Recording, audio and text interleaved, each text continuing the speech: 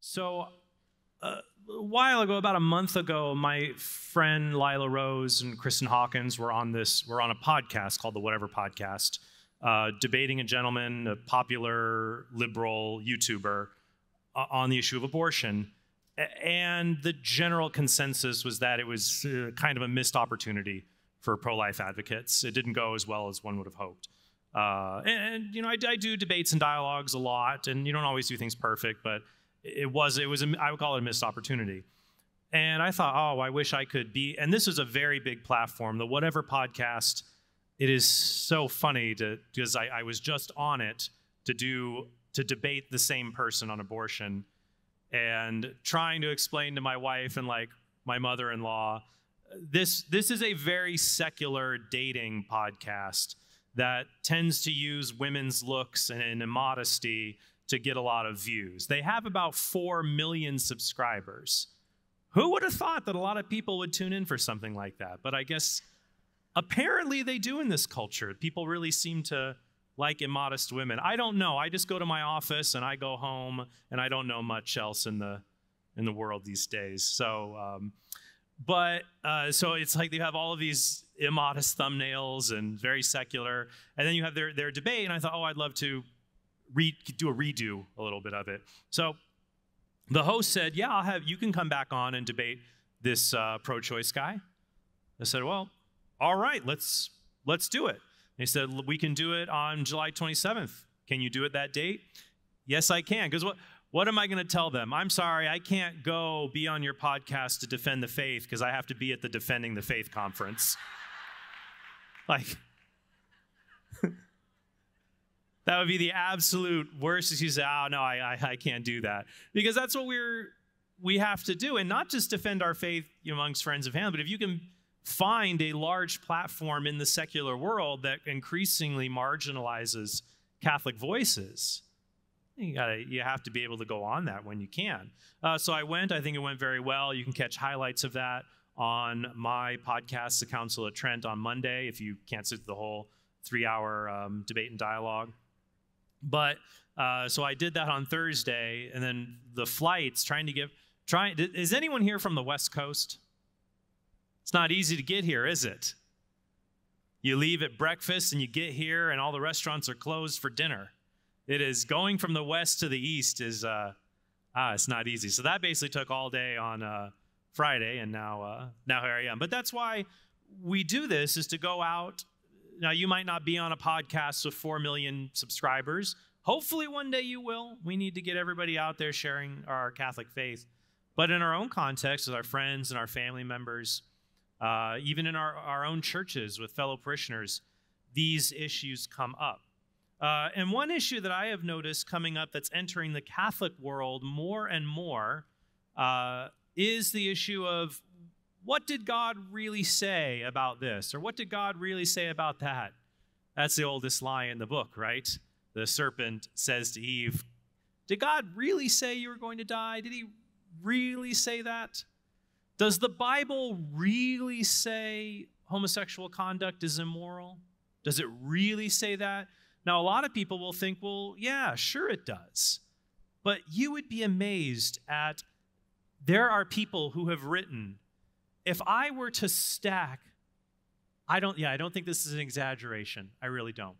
If I were to stack all of the books and journal articles that have been written to try to say, to prove the Bible does not condemn certain forms of homosexual conduct, if I stacked all those books and journal articles written in the past 40 years to defend that view, they go from this stage up to that ceiling. I'd have no doubt. Hundreds books, monographs, journal articles, who are committed to the idea no, the Bible doesn't really say this. Because one thing to say, yeah, the Bible says it, but you know what? I don't believe it, I don't care. But if you can say, oh no, God really, we, we've just been interpreting it wrong all of these years, and the church has to get with the times in this. This is very popular among Protestants. Matthew Vines is a young man who wrote a whole book on this called God and the Gay Christian. Though Vines is incorporating arguments from people long before him. John Boswell Yale University really helped to start a lot of this in the modern age. This, what I call theological revisionism. looking at texts that have been viewed one way for 1900 years and saying, oh, that's not really what it means. Vines writes the following uh, in his book, uh, God and the Gay Christian, that he says in the Bible the reason Christians are against homosexual conduct or believe that it's sinful is because six passages Genesis 19:5, Leviticus 18, Leviticus 20, Romans 1, 1 Corinthians 6, 1, 1 Timothy 1 have stood in the way of countless gay people who long for acceptance from their Christian parents, friends, and churches. Other revisionist theologians will call these the clobber passages. And they do have a bit of a point that when someone says, well, why is homosexual conduct sinful? If the first thing a Christian says is, here are these verses that say it's sinful, and use them to beat someone over the head who may be struggling with a deep seated attraction and struggling to live a chaste life. Where what I would lead with is to say, well, before we look at what the Bible says sexuality is not for, the bad news, let's look at the good news. What is sexuality for? What is the positive treatment and portrayal of it? What is its ultimate trajectory in Scripture? Because you might be thinking, ah, I don't need any of this, Trent. It's clear. It says in Leviticus, this is an abomination. It says it's sinful in Romans 1. But then there are sneaky people, sneaky lay people, priests with a large social media presence, who like to say confusing things. You might know one or two I'm talking about, maybe. Will say things like, oh, well, sure, the Bible, Leviticus says homosexual conduct is wrong, but it also says eating shellfish is wrong. We don't follow that rule anymore. Yeah, Paul says homosexuality is, is wrong, but he also said slaves obey your masters. We don't follow that anymore. Maybe we need to develop our thinking on this. So I believe if someone presents an argument, it should be tested, and we should uh, we should examine it very carefully. So the, the basic rule here is to understand how could somebody say that the Bible doesn't teach homosexual conduct is wrong when you have passages that clearly seem to say otherwise. For example, in Leviticus 18 22, you shall not lie with a male as with a woman, it is an abomination. The revisionist theologians will say, sure, I grant you homosexual conduct is always presented in a negative light in Scripture. But they'll say, the Bible only condemns some kind of homosexual conduct. It doesn't condemn that kind. When you talk to people who make this argument, that is the number one, that's what they're always going to return back to over and over again. The Bible only condemns some kind of same sex relationships, not all kinds. They'll say the biblical authors had no idea, no idea. You could have been a two people of the same sex could have been in a monogamous relationship like we see in the modern world today. They would they would say that ancient people understood homosexual conduct as when you let your passions get out of hand, you might just engage in the sexual act with anybody because you got out of hand a little bit. Or you're they're condemning uh, relations with prostitutes, uh, the Hebrew word kadashim, for example. Or it's condemning pederasty, man boy relationships, not adult relationships. But we'll go through each of these passages and see the problems with that. Let's talk about the so called clobber passages then and how revisionist theologians rework them. So the first one would be Genesis 19. Uh, that's the story of uh, Lot. He is his uncle Abram. Uh, you know, they are they see that the land cannot support both of them. So it says that Lot went to settle in the valley of Sodom. And if you were an ancient Israelite reading the story, there would have been a sound effect, dun dun dun where, which we miss a lot now that he went and he, he did that. It says actually that uh, Lot w- was someone who sat at the gate of the city. Uh, judges often sat at the city gate, the entrance and exit of the city, to mediate disputes between people. So Lot was considered a righteous man. The second letter of Peter says that God will rescue the righteous. He rescued Noah and he rescued Lot. It calls him righteous Lot, does not mean perfect Lot as we'll see later in the story. Uh, what happens is that uh, Abraham and God they have a little bit of a bet. Who couldn't win a bet with God, right? You're going to destroy Sodom? What if there's 50 righteous people? How about if there's 40 people, will you destroy it? Then finally, he bargains them down to um, 10. I won't destroy the, the city if there's 10 righteous people, and there ain't. Two individuals, angels in disguise, uh, visit the city, and Lot recognizes they are in danger if they are staying in the public square. He, it takes them under the roof of his home to protect them. The story picks up in Genesis 19:5. A group of men from the city come to Lot's house. Where are the men who came to you tonight? Bring them out to us that we may know them. Lot went out of the door to the men, shut the door after him, and said, I beg you, my brothers, do not act so wickedly. Behold, I have two daughters who have not known man. Let me bring them out to you and do to them as you please. Only do nothing to these men. They have come under the shelter of my roof. But they said, Stand back. Stand back. This fellow came to sojourn, and he would play the judge. They were probably in Sodom and their wicked lifestyle, were growing ever and ever more frustrated with righteous Lot, who sat around judging them. Now we will deal worse with you than with them. They try to break in, the angels blind them. A few Michael Bay special effects later, uh, the city is destroyed.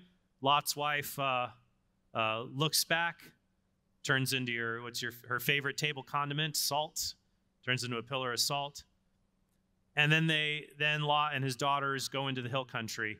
Then the story gets interesting because I think Lot was a bad man for offer, saying, Please don't rape these strangers. Have my daughters instead. If you were a righteous man, you would say, Do whatever you want with me, leave these people alone. And now some people will read the Bible and say, Well, God never said, that never says what Lot did was bad. Well, the Old Testament often likes to describe people as getting their just deserts. A lot of times in the Old Testament, the narrator doesn't come right out and say, This guy was being bad. Instead, a person's sins will catch up with him. For example, Jacob, what does he do to steal the birthright from Esau? He puts on the, the fuzzy gloves, right? Because Esau was a hairy man. And he uses the fuzzy gloves to deceive Isaac to steal the birthright. What happens then with Joseph and his Technicolor dream coat? You know, Joseph, his coat of many colors. His brothers are jealous of him, sell him into slavery. And how do they trick their father, Jacob, into believing Joseph is dead? They take his coat and show it to him, just as Jacob had deceived Isaac with fabric. So now he's deceived by his own children with fabric. Lot offers his daughters up to be raped to an angry mob. What happens later is that Lot gets so drunk, his daughters say, There's not a man among us. There's not a man here. It's the, the apocalypse. Let us be with our father to have children. So they rape. So he offers his fathers to he offers his daughters to be raped. They end up raping him. And the text says their children went on to become the founders of Moab and Ammon, Moabites and the Ammonites, the people that would always give Israel trouble after that point. So, does this narrative provide evidence that homosexual conduct is wrong? Yes, I would say so. Now, it's not the strongest piece of evidence. It, it, it isn't a command, for example. But those who would try to explain away the story entirely, I would say that they have they missed the point. The letter of Jude, for example, condemns those in Sodom for going after strange flesh. And Second Peter talks about their sexual immorality. Now, the strange flesh, of course, they weren't condemned. They were going after the men, is saying, oh, well, it's because they were trying to you know, rape angels. Well, they didn't know they were angels. They're going after strange flesh. But I'll say this imagine that there was a, a story in Scripture. Well, there essentially is one, actually. It comes to what happened to Noah after, after the flood. When you get into Bible studies, you realize, wow, they really censored a lot of things when I was in Sunday school and watched Veggie Tales. They were really in this, the, the, the children's Bible had a lot of pages cut out cut out of it once you start reading scripture and then actually going back through the text itself. That's why I know this will be the most controversial thing I will say today, but I refuse to show my children Veggie Tales. I absolutely 100% refuse to do it because the Bible is not a bunch of fun stories. It is a historical recollection of God's dealings with his people. Like when I saw the story of Noah's flood on Veggie Tales, you've got a tomato jumping around talking like Jerry Lewis. God's going to flood the earth. The only cartoon I will show them you can only find it on YouTube and VHS tapes now. Are it was produced by Hanna Barbera in the 1980s, called The Greatest Adventures, the great greatest stories ever told, adventures from the Bible. Great voice acting. Ed Asner is the voice of Joshua. People of Israel, and it's just taken so seriously. Uh, but it's still kid friendly. It has modern protagonists who go back in time to witness biblical events. And the story of the flood is so different. When you watch the flood episode, it opens, it's dark and lightning, and there's a big booming voice. And God saw the world had become depraved and filled with violence and lust. And you see idols and women dancing in a bar and a guy clubbing another guy over the head. And God sought to purge the world of its wickedness with a flood like none had ever seen to judge mankind for its sins. Take that, you dumb tomato. That's how you tell kids about sin. and God's righteousness and his, his judgment, but also his mercy, the mercy he has on us.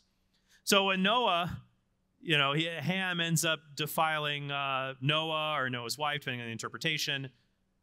But you see here, imagine there's a story where uh, a man rapes his own father as a part of the story of, of what happens. Would you read that story and say, oh, that's awful? But you know, it doesn't really say anything about consensual incest. No, you would say that the fact that there, there was rape and it was incestual, because people will say the story of Sodom and Gomorrah only condemns rape. It certainly does. They'll say it, they'll say it only condemns the sin of inhospitality. Yes, the people of Sodom were going to be very inhospitable. but the fact that the act of violence is so disordered, if it were a case of incest, would just add more depravity to the story to make the events more unseemly. So I think that those who try to rework this story, it's it's futile. But to their credit, it's not the strongest verse to rely on because it is more of a narrative. It doesn't give an explicit injunction. So let's move ahead then to the book of Leviticus. Uh, so you have in Leviticus 18:22, you have the holiness code, and there you have a long list of rules, most of them dealing with incest. Now, you need a lot of rules to explain. Like, how do you explain the sin of incest to someone? Uh, like, who's your family and who isn't? Most of us today would draw the line at your first cousin. There, it's like you can if you have permission, but unless you're royalty, you're not sure we're not really going to do that. But it's typically your, your first cousin. After that, you're fine. So your second cousin, twice removed, you're okay. Because in the ancient world, when you lived in one of these villages, most people were your cousin. you know, most people were related to you in an intimate way. So you have a long explanation of who you cannot have relations with based on it's your mother's son, your mother's brother's son or sister. He goes through all of that. Then you get a few more. But here's the thing: you so you get a lot of these serious prescriptions, and then others uh, that are universal in scope. So, right, but it's interesting. So, right after the the incest rules, there's another one about not sacrificing your children to Moloch. And then 1822, you shall not lie with a male as with a woman, it is an abomination. Leviticus 20:13, if a man lies with a male as with a woman, both of them have committed an abomination, they shall be put to death, their blood is upon them. So it seems very clear what the Bible is speaking here. Now, this is stronger biblical evidence, but it's, it's still not the linchpin, but it's still very strong to satisfy what the Catechism says in paragraph 2357, which presents it says it presents homosexual acts as acts of grave depravity. Now, the, the immediate one, the, the layperson's objection will be this uh, it's what I call the shellfish objection. All right? Well, you guys follow Leviticus on homosexuality, but you don't follow Leviticus on not eating shellfish. Keith Sharpe, in his book, The Gay Gospels, writes the following Until Christian fundamentalists boycott shellfish restaurants, stop wearing poly cotton t shirts, and stone to death their wayward offspring, there is no obligation to listen to their diatribes about homosexuality being a sin. So the reference there, of course, Leviticus 11:10, you shall not eat uh, shellfish. Descri- describes more of the text was meant by that.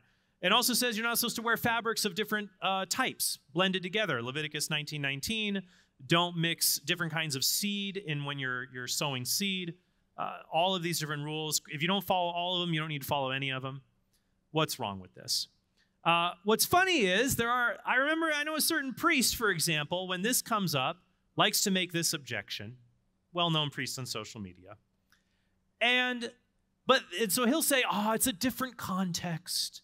you know, we, we don't do everything Leviticus says. But then when this priest wants to comment on Twitter about the immigration debate, about, well, what kind of immigration policy should we have? He'll cite Leviticus that says, You shall not, you shall welcome the stranger and foreigner in your land, for you were sojourners in Egypt. You shall welcome the foreigner in your land. There, the Bible says it. We should uh, let everyone immigrate. We should have open borders. Now, notice what happens here is that those who will say we don't need to listen to, the, to, the, to Leviticus on sexuality because times have changed and we don't do everything Leviticus says, will cite Leviticus and say, ah, be kind to the foreigner. That means no borders, without understanding that we've changed the law from a wandering uh, tribe of the chosen people in a hostile land to modern day nation states. So it's, it's truly an interesting double standard there when that arises. Uh, so, talk, so I'll talk about some of these objections. First, uh, just because the Bible prescribed a death penalty for things like blasphemy, uh, violating the Sabbath in the Old Testament, it doesn't follow those, those things aren't still wrong. The penalties have just changed. Uh, adultery is still wrong, even though the death penalty is no longer uh, uh, attached to it. Now, what about the mixing? You say, well, wait a minute. How do you know that the rule on homosexual conduct is a permanent moral rule and you can just ignore the others. We don't ignore the other rules, we recognize their limited scope. They served a pedagogical purpose. In the letter to the Galatians, St. Paul said he calls the law of the Old Testament, the Torah, he calls it a pedagogos. So pedagogy, pedagogical, means how to educate someone. It refers to an educational methodology, pedagogy. Pedagogos was a kind of tutor slash babysitter, kind of like Mary Poppins without the flying umbrella, all right? But so it was not, not just like, it was like a custodian, but it was someone who was a tutor and a babysitter wrapped up in one that would uh, care for, that would uh, raise up someone, pedagogos. So Paul said that for the chosen people, the law was their pedagogos, but we don't need that anymore now that we are in Christ. Doesn't mean we don't need all of the law, but we don't need the Torah as Torah. We don't need that. We need to be united to Christ through baptism, whether you are Jew or Gentile. That's Paul's main beef with the Judaizers. Don't listen to Protestants who will tell you, oh, Paul said we're saved by faith. There's no works you do to get to heaven. He was worried that he couldn't do enough good works to get into heaven. That was absolutely not Paul's concern. Paul did not feel guilt, because people will say, oh, well, he was a, a guilt ridden Pharisee who couldn't do enough work to get into heaven. No, he said, when I was a Pharisee, I was rock solid. I was getting, read Philippians chapter 3. I, tribe of Benjamin, uh, studied in the Pharisees. I was top of the top. Then he met Jesus and realized he's, he's not. But what concerned him was not, oh, I'm not going to do enough good works to get into heaven. He was mad. There were people who were saying to be a good Christian, you have to be a good Jew. That's his beef. That's why in Galatians 5:12 he told the Judaizers they should castrate themselves. Because these people demanding adult men, if you want to be Christian, you have to get castrated. Uh, sorry, you have to be circumcised. That would really make it hard. Dude. Hey, look, I will tell you, for a lot of men, when they're given, they're offered up the choice, it, they're both like, "Oh, I'm just not what I really signed up for for this." Anything mixing blades and uh, important part of continuing on our patriarchal line. That's why men are willing to put up with this when they're eight days old. After that, not a fan. Paul saw that this is a barrier to people coming to Christ. You don't need to become a good Jew and be circumcised in order to be Christian. You don't have to follow the Mosaic law, but it doesn't mean you don't have to follow any law at all. In Galatians 6, Paul says we should follow the law of Christ. And Paul lays down specific moral commandments. To, you know, he talks about, and we'll get to this later, things we must follow. So, how do we know the difference here? Well, when you look at the shellfish rule, the mixing rules, they're all about don't mix things.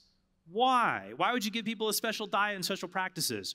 Well, for the chosen people, God's role is to keep them protected and pure in a pagan world until the Messiah can come into the world. And so the idea here is to keep the chosen people separate. Their job is not to proselytize, their job is to continue giving God's revelation. And they do proselytize, and people do come into the chosen people, but it's not a great commission like we have. So, in doing this, once we get to the time of Christ, the kosher laws from the Hebrew kashrut, think about it like when you have a diet, right? It keeps you apart. This happens to us every year in Lent. You go over to a friend's house. Oh, having barbecue today. We're having barbecue on Friday. You going to join us? Uh, you know, I can't eat uh, barbecue. It's you know, it's Friday. We don't eat we don't eat meat on Fridays during Lent, or for many people, Fridays all year round. That's your choice, obviously. Now imagine if you're now that's just now if you have non-Catholic friends, just even not eating meat on Fridays, they can tell, hey, there's a difference here. When you have a dietary restriction, walls come up. We're set, we're different than you are. The Jews having so many restrictions keeps them from illicitly mingling and assimilating the beliefs of their pagan neighbors. But then eventually the chosen people have to branch out now. So we don't need those. So that's why Jesus says it is not what goes into you, the stomach, that defiles, it is what comes out. That those laws serve their purpose. We don't need them anymore. To give you an example, here's two rules for my kids hold my hand when we cross the street, and don't drink what's under the sink. One of these rules is permanent. Which do you think it is? Like I'm like when my son is 30 years old, he doesn't have to maybe you know, if my knee doesn't get better, I had a, a injury. If you listen to my podcast, I had a, a jujitsu injury. I'm fine telling people like it's better than like I tripped over my kid's fire truck and threw my knee out. Like I want to be like, yeah, I was fighting this guy. He's a cop, and we were rolling at it, and he swept my knee, and it popped out, and I was like, ah. That's like Arnold Schwarzenegger. Ah, get in the chopper. Ah, ah.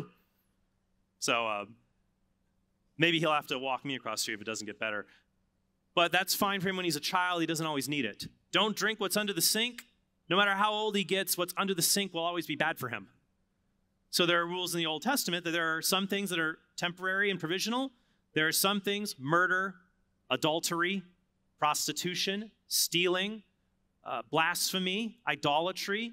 There are many of the rules in the Old Testament that are always going to be bad for God's people, no matter what stage of revelation or stage of the life of the church we are at. And so those are permanent. So when we look at Leviticus 18:22, which does it fall under? You shall not lie with the males of the woman; it is an abomination. Hebrew toabah. The uh, scholar John Boswell said toabah or va toabah. That just refers to ritual impurity. Uh, it has nothing to do with um, uh, uh, moral laws. It's just about ritual impurity. Uh, he says here the Hebrew word toavah does not usually signify something intrinsically evil like rape or theft, but what is ritually unclean for Jews. But that is just simply not true. Jeremiah says murder is toabah. The Proverbs say lying is toabah. Ezekiel says adultery is toabah. And uh, Jeremiah also says, child, or, or, sorry, Deuteronomy says that sacrificing your children is toabah, an abomination. So it can also mean something that is a moral abomination that one must never do. We also see the context where Leviticus 18:22 is placed. It says, "You shall not lie with the males of the woman." This comes after the prohibition of sacrificing your children to Moloch, but before the prohibition on bestiality. So it's clearly sandwiched between a section of serious moral rules. And the fact that the death penalty is attached to it shows that it belongs to a serious moral category that has to always be followed. The penalty might not always be attached, but it is an enduring moral rule. Because in Leviticus 18, the revisionists will say, well, it also says that you know a man cannot uh, have relations with his wife if it's during her her time, you know, her fertile period during menstruation. Uh, but it actually does not attach capital punishment to that. It was considered uh, morally offensive because blood and semen are considered liquids of life that you should treat with reverence. And blood is a symbol of death, so that's something to reverence them to understand, but it's something it's something that can happen accidentally even. It's not considered a sin so serious it needs capital punishment because it goes against God's design for sexuality like bestiality or sodomy or God's design for, you know, our familial relations like child sacrifice would um, go at. Also, some people, it's not a ritual law that was meant only for ancient Israel, because here's the next verse in um, uh, verses 24 through 25 talk, where it talks about sacrificing to Moloch, sodomy, and uh, bestiality. Do not defile yourselves by any of these things, for by all these the nations I am casting out before you defiled themselves. and the land became defiled, so that I punished its iniquity, and the land vomited out its inhabitants. So these were things that anyone by reason should know you ought not sacrifice children, you ought not engage in these grave sexual sins, that the other pagan nations were judged for this as well. That will come up also in um, uh, when we talk about Paul and his vice list. Uh, a last point here is yeah, when people try to say that, oh, well, this was a con- in the ancient world, this only referred to dealings with prostitutes. The problem is there is a Hebrew word for temple prostitutes, kadashim. That's not here, the kaddish or kadashim. Uh, that's not here in this verse. There's no reference to that. When you look at other ancient law codes, the Assyrian law code, uh, Mesopotamian law codes, you find homosexual conduct is prohibited, uh, and the person who is punished is the active agent. It is the man who is the active initiator of it rather than the one receiving the conduct. Because these, these rules saw the, the, they saw the punishment, they saw the crime as being one where a man uses his sexuality to dominate and rape another man and show the power he has over him. Similar to what you might see in prison, for example. Uh, people might have a, uh, a opposite sex orientation, even, but in prison use rape as a weapon to dominate others. So, in these ancient law codes, only one party was punished the one who dominated and humiliated the other man. But here, both parties are held equally liable for acting just as those who are commit adultery or fornication they are acting in contradiction to god's commands now we don't have the same punishments but it's considered grave because if you have ancient people misusing sexuality well look how messed up our world is we have at least modern resources to try to pick up the pieces for people. But 4,000, you know, 3,000 years ago, it's more of a matter of life and death when people are fighting you in warring tribes and you're one bad harvest away from famine if you're going to completely disrupt the social and familial order. Uh, going this, before we get to Paul, though, I think it is helpful that some people will say, well, you know, th- this isn't a big deal because Jesus never said anything about it. Jesus never said anything about this, so why would you think that it's wrong? Well, first, how do you know Jesus never said anything about this? It might not be recorded in Scripture, but we as Catholics don't believe in sola scriptura. I've actually read Protestants who say, well, Jesus could have taught this to the apostles, even if it's not explicitly recorded in Scripture. He could have said that to them, and then we've received it from the apostles. We're only a few steps away from where we're at. Okay. He taught it to them in an oral, unwritten way, like a, something to hand on, like a tradition, maybe. Hmm. Interesting. Very a sacred tradition, very interesting. But when we look at what Scripture says, now what people will say, which is interesting, those who are the academic revisionists, they'll say, well, look, uh, Scripture, we, we have moved beyond the toleration of slavery. Uh, women have more rights than they had in Scripture, so why wouldn't we allow um, homosexuality? There's a book written by a scholar, his last name is Webb, and it's actually called Slaves, Women, and Homosexuality and it chronicles the trajectory in Scripture. But when you look at sexuality, so when you look at uh, slavery, for example, uh, something that exists in the Old Testament, something that is regulated uh, and allowed to happen uh, in many cases to prevent greater evils like starvation, and to tolerate something that was just a universal norm, like credit cards are today for us, because you didn't have credit. The only credit you had was your own physical body. In Genesis, when there's a famine and people go to the land of Egypt, they go to Joseph and say, We will sell ourselves as slaves to you so we do not starve. But then eventually we get to the New Testament where Paul encourages Philemon to be welcomed back as a brother and not just as a slave, uh, welcoming back and looking in 1 Corinthians 7 about uh, having slaves and releasing them. We see an understanding of that whether you are free or slave, you're equal in the eyes of Christ that while it may be necessary for now as a social institution, it's not ultimately God's plan. There's a trajectory here and for women. But in Scripture, there's an interesting trajectory on, on sexuality that it's not like, oh, sexuality gets more and more liberal in attitudes as Scripture goes on. Rather, we see a tightening. We see allowing sexual impropriety for people with hard hearts in the Old Testament, polygamy, divorce, and then eventually, though, when God's people are able to receive the grace, to say, no, that was something God tolerated, but not is not his plan. Mark chapter 10, for example, the, the Pharisees asked Jesus, We're debating, you know, about divorce. The schools of Shammai and Hillel, the rabbinic schools, disagree. You can divorce your spouse for a cause, but how much cause do you need? One rabbinic school says you really need a really severe thing like adultery. And the other says, hey, your wife burns dinner, you can cut her loose. That's literally what the rabbis are saying. She burns your dinner, you can cut her loose. And they're like, so where do you stand, Jesus? Whoever divorces his wife and marries another commits adultery against her. And if she divorces her husband and marries another, she commits adultery. Full stop. And he, he says, Yeah, Moses gave you this law for your hardness of hearts. But he goes back to Genesis. It wasn't God's plan. God's plan had to be suspended for a little bit. He had to tolerate your shenanigans. But now we are raising marriage, which was given to all people, not just Catholics, not just Christians. Marriage, God wrote marriage into the human heart, and Christ raised it to a sacrament. Now you have the grace to receive to make this a, a lifelong. This is what God intended from the very beginning. So, those theologians, and you'll have self described queer theologians, I've read their books, and it astounds me that they will say that Jesus' primary value in our sexual relationships is consent, honesty, openness. No, what Jesus values is complementarity of uniting men and women together and each one being able to bring to fulfillment and perfection a, a, whole greater than the two separated, so that when they are brought together, they achieve this wholeness that ought not be divided. That when man and woman come together in marriage, it's like when you when the ingredients of a cake come together in the oven.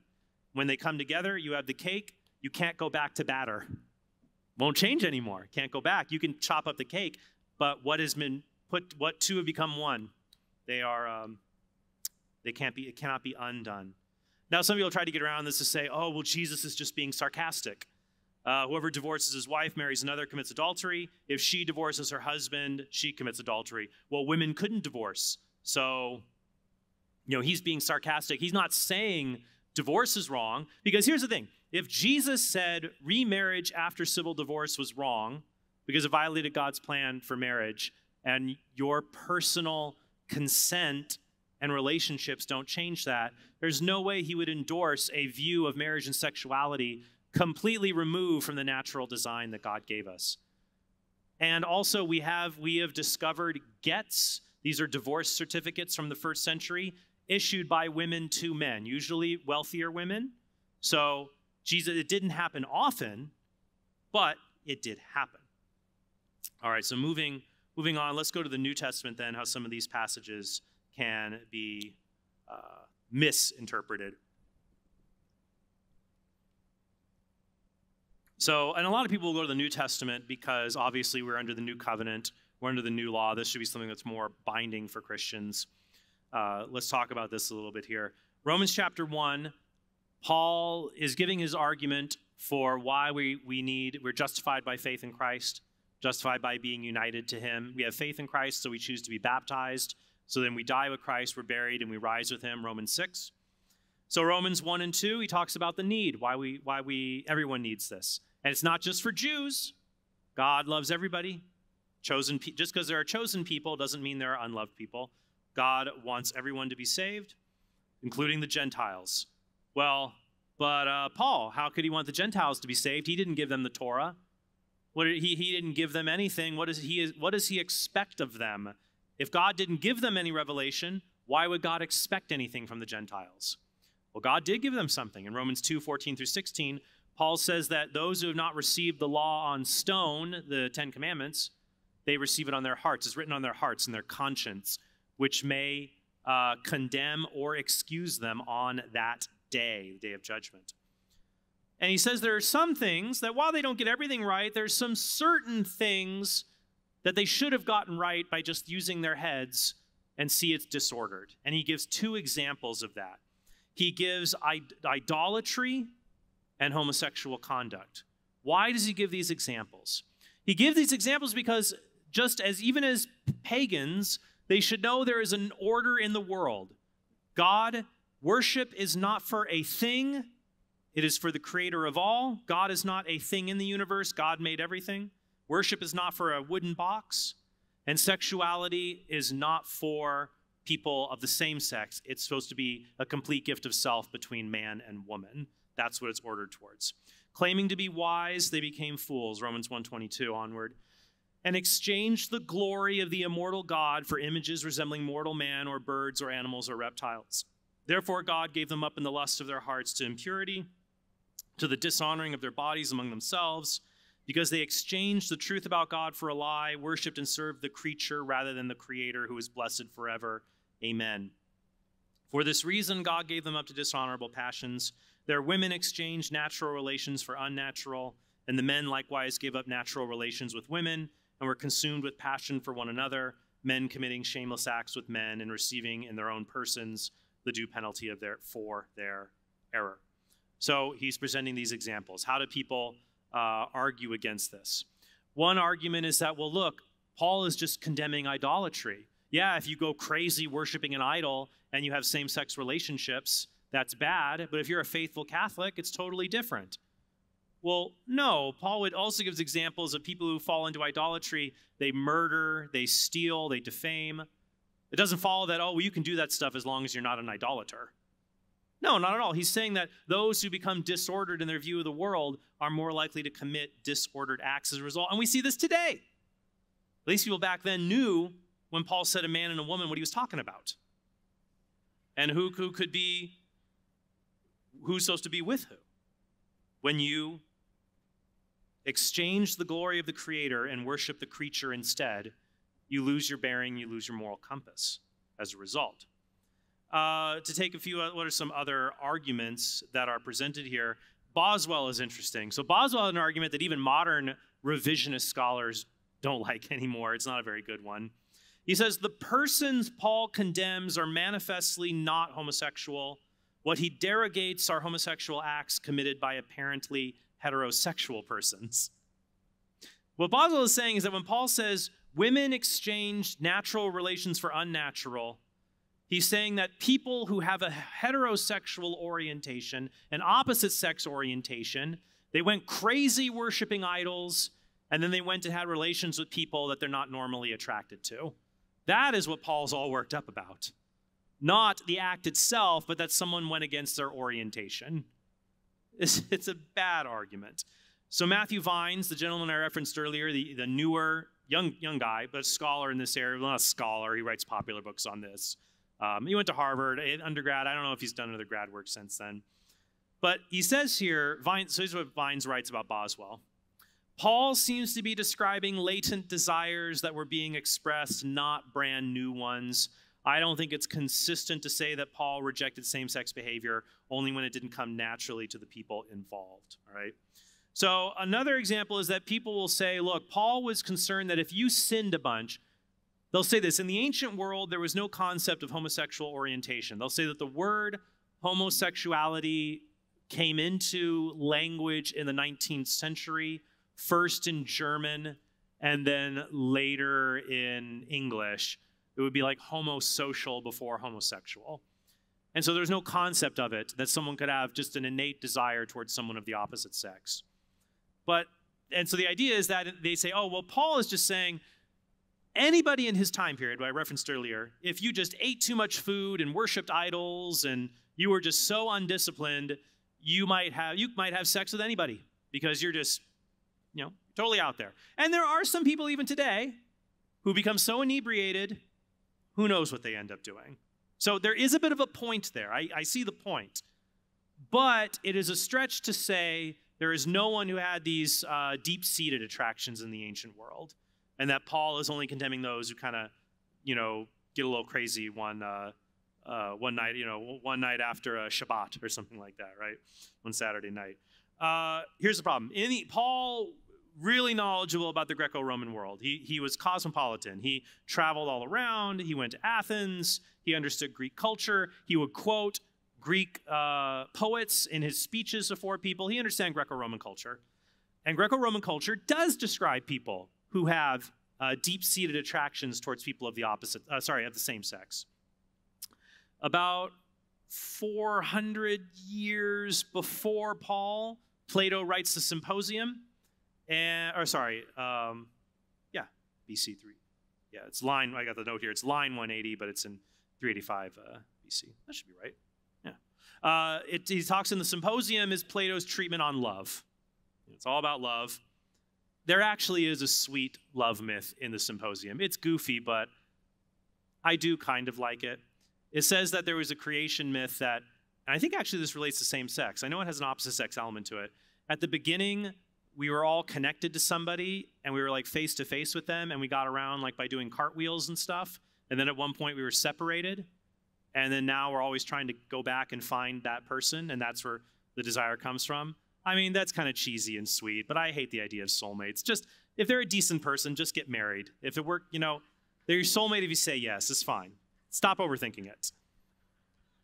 I am telling you, Laura and I, like seeing how dating is right now for people, we are like in the, the life raft of the Titanic looking back. There's like relief that we're not sliding down the deck.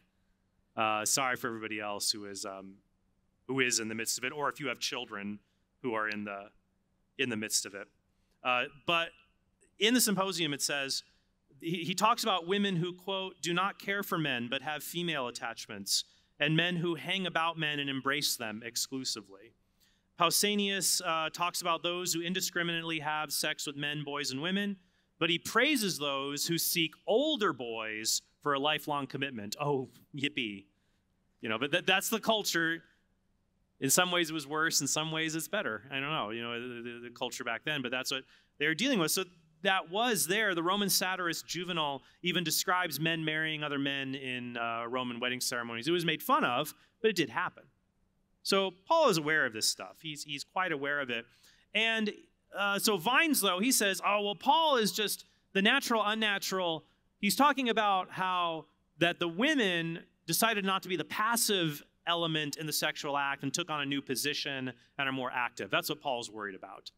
No, that doesn't really square because it loses the connection with the exchange metaphor that Paul uses.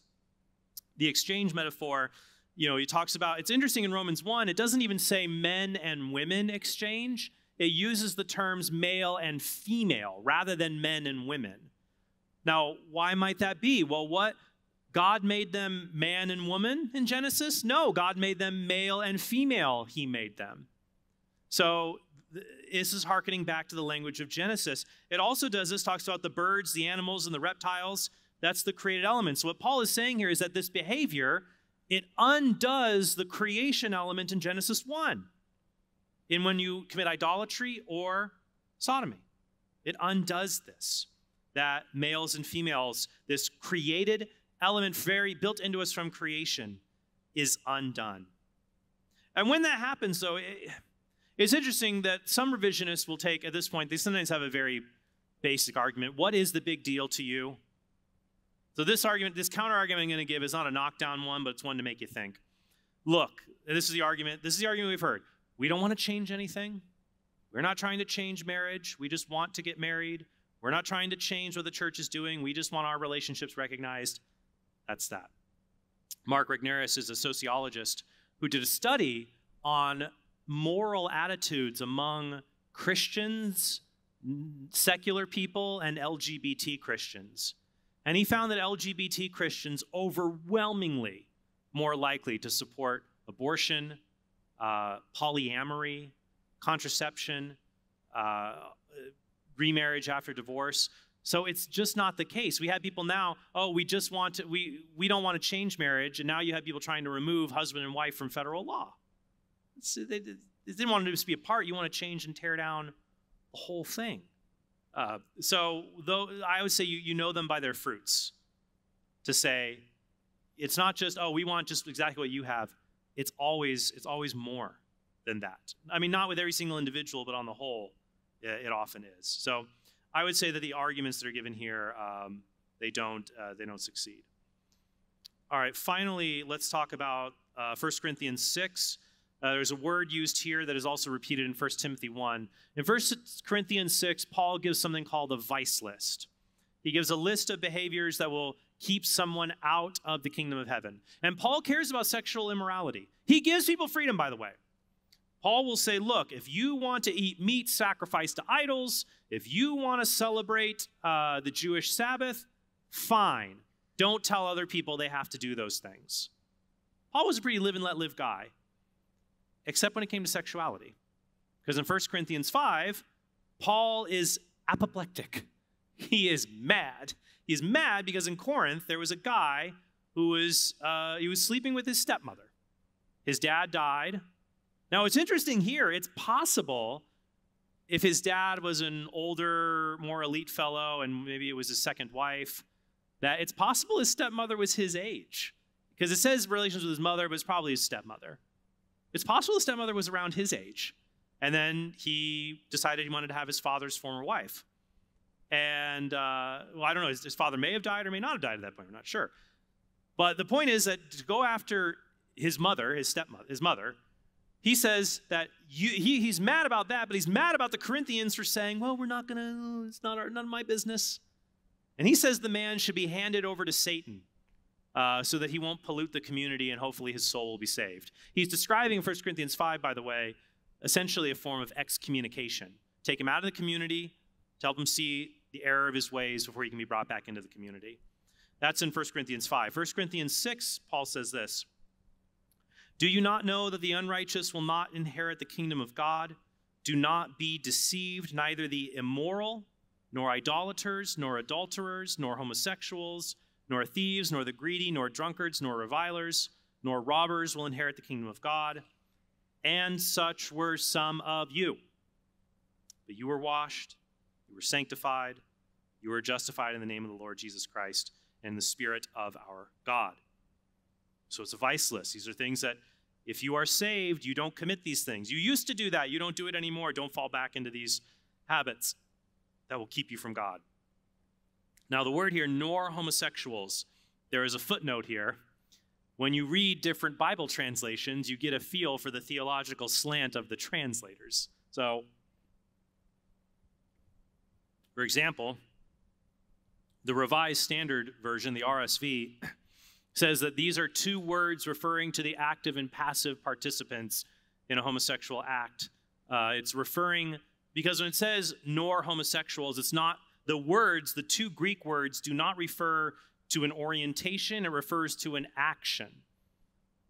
The New American Bible, however, says it's a reference to pederast. It's a ref- it, it translates it not homosexuals, it translates it uh, boy prostitutes and um, soft ones.